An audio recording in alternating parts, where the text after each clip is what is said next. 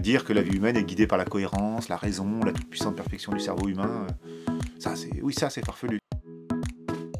On peut dire que c'est euh, l'histoire d'un homme dont la relation amoureuse est mise en péril dans un moment de crise un peu exceptionnel et très clivant que vit le pays, parce que sa petite amie n'est pas d'accord avec lui politiquement, parce qu'elle ne supporte pas la façon dont il réagit à la situation, parce qu'elle ne le trouve pas assez libre et dont le trajet, du coup, va consister, euh, pendant le roman, à essayer d'apprendre à, être libre. Voilà, c'est un peu plus d'une phrase.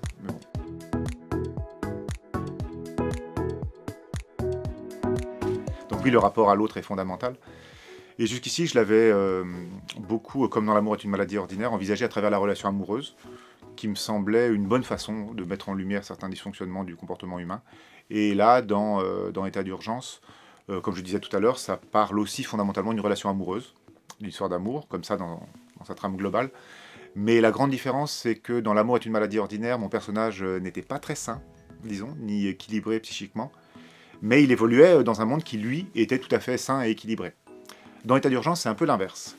mon personnage principal, lui, est globalement assez sain et équilibré, psychiquement, mais c'est le monde dans lequel il vit, et qui ressemble au nôtre, qui, lui, ne l'est pas du tout et où justement le lien social disparaît ou en tout cas euh, se détériore euh, considérablement. Ah bah, il occupe une place fondamentale parce que je pense que c'est la façon la plus raisonnable d'envisager la vie humaine. L'absurde, je sais pas pourquoi, est toujours euh, souvent assimilé à quelque chose de farfelu, de fantaisiste, alors que, à mon avis, c'est le contraire. C'est le fait de dire que la vie a un sens qui est complètement fantaisiste. Que dire que la vie humaine est guidée par la cohérence, la raison, la toute-puissante perfection du cerveau humain, ça, c'est, oui, ça, c'est farfelu, ça, c'est fantaisiste. Après, c'est vrai que dans mes romans, euh, je pousse le curseur de l'absurde un peu plus loin, mais je fais que grossir un trait. Euh, l'absurde, il est là en permanence. La vie humaine est essentiellement absurde. Bon, alors moi je suis pas linguiste, hein, euh, donc je fais que relever certains aspects de ce phénomène, mais disons que grossièrement j'ai l'impression qu'on vit dans un monde où le langage a perdu son sens. Euh, parce que la plupart du temps, en fait, euh, on dit exactement le contraire de la vérité, de la réalité qu'on décrit. Il ne s'agit pas de mensonge en tant que tel, hein, il ne s'agit pas d'un mensonge qui consisterait à dire euh, je n'ai pas fait ça alors qu'on l'a fait. Non, c'est plus, subtil que ça. C'est n'est pas le monde du mensonge, c'est le monde de, l'hyperbole. Et plus spécifiquement de l'hyperbole publicitaire. C'est bah, un monde où la bière premier prix du supermarché s'appelle bière de luxe, régulièrement. Tout le monde le sait, hein, pourtant, que la bière premier prix, c'est pas une très très bonne bière. Et donc c'est absolument le contraire d'une bière de luxe. Mais ça nous dérange pas, et c'est ça qui est le problème.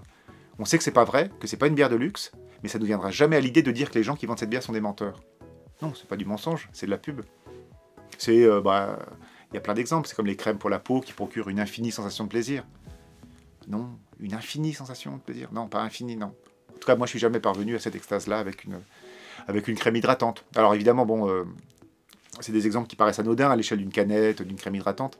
Mais cette perte de sens, pour moi, qu'on puisse appeler produit euh, de luxe, quelque chose qui est exactement l'inverse, c'est un phénomène qui s'est généralisé et qui envahit euh, la sphère langagière des médias d'information, de la communication politique. Et c'est là où ça devient euh, extrêmement dangereux, évidemment. Il est important parce que euh, y a plusieurs personnages dans le, roman dont je me sens très proche, notamment celui, celui d'Emma. Mais celui de Vadim m'a permis de rendre compte de quelque chose de, très personnel, dans la façon dont moi j'ai vécu certaines choses depuis deux ans, depuis que certaines de nos libertés de déplacement, d'interaction sociale et de réunion ont été restreintes. D'une partie de ma famille, je suis d'origine russe, et jusqu'à mes 13 ans, quelque chose comme ça, j'allais régulièrement en URSS dans ma famille pour euh, quelques semaines, quelques mois.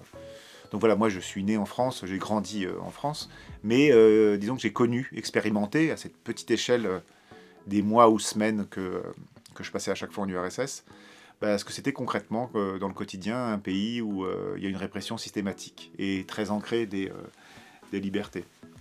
Et, je pense que c'est peut-être à cause de ça que moi j'ai eu l'impression de vivre un peu différemment des autres Français la restriction des libertés qui s'est mise en place en France depuis deux ans. Donc le personnage de, Vadim, euh, qui dans le roman est un émigré russe, arrivé en France dans les années 80, m'a permis de, rendre compte un peu de, ça, de cette chose personnelle qui m'est arrivée. Et alors qu'il a près de 90 ans, dans le roman, euh, c'est un des personnages dont je me sens le, plus proche. Et paradoxalement, le personnage principal, qui s'appelle François, comme, euh, moi, est presque celui en fait qui me ressemble le moins. Celui qui me ressemble le plus, c'est dans, toute son outrance, un peu extrême, parfois ridicule, je l'ai dit tout à l'heure, c'est le, le, personnage d'Emma.